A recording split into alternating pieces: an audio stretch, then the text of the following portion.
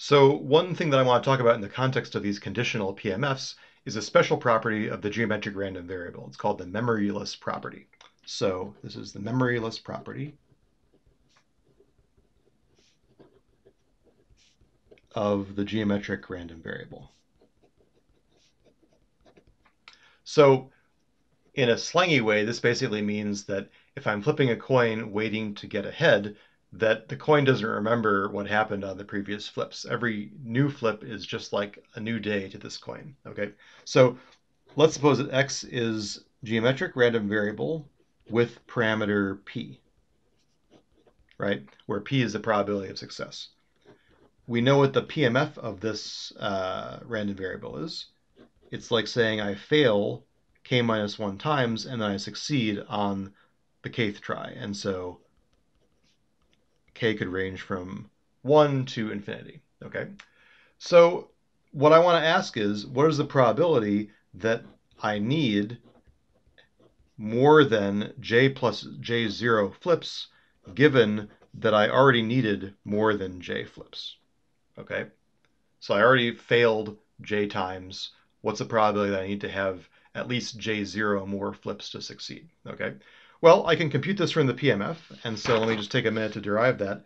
So the probability that x is greater than j, well, the geometric PMF kind of looks like an infinite number of arrows with a very long tail where the arrows are decreasing. So I'm kind of asking, what is the sum of these arrows after some point j, okay? And I can just actually write down the sum of those arrows explicitly. This is the PMF. And let's just rewrite things so that instead of uh, summing from j plus 1 to infinity, I'm summing from 1 to infinity. That means I can take a factor of 1 minus p to the j out, and what I'm left with is summing from 1 to infinity. And then I say, well, look, this is actually just the sum of all of the values of the PMF, which I know has to be 1, right? Because I have to have PMFs that sum to 1. So now I've learned that this is my answer for how much is left in this tail. And so if I go back and ask, okay, well, let's go back to my question. What is the probability that x is greater than j plus j0, given that x is greater than j?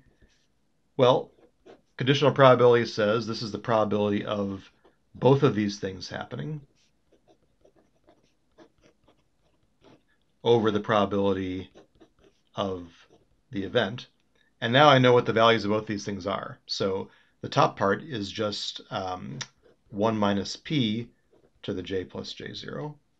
The bottom part is 1 minus p to the j. And now I can do some cancellation. I can say this is 1 minus p to the j0.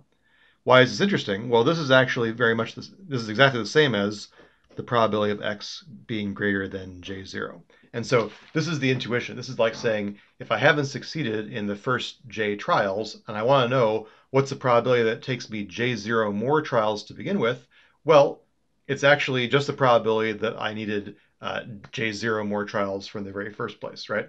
So it's like the coin doesn't remember that I failed j times, and it's the same as if I started out entirely and just flipped it j0 times. So this is only true for the geometric random variable. A kind of different way of looking at this graphically is kind of like saying, if I were to look at the geometric random variable, remember that a conditional PMF is kind of like saying I've got this, I'm chopping it off here, and then I'm renormalizing it to just this area.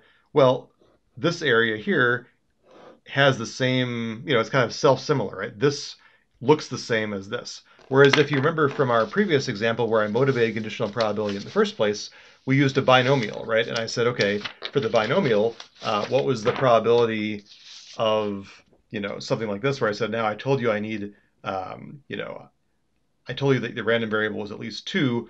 How does that change the PMF? The PMF changed to this thing, which definitely doesn't look binomial, right? This is not the same shape as it was before, whereas it's only true for the geometric PMF. So this is just something that you always see in the context of conditional probability. And so when someone asks you what random variable has the memoryless property, you know it's the geometric random variable.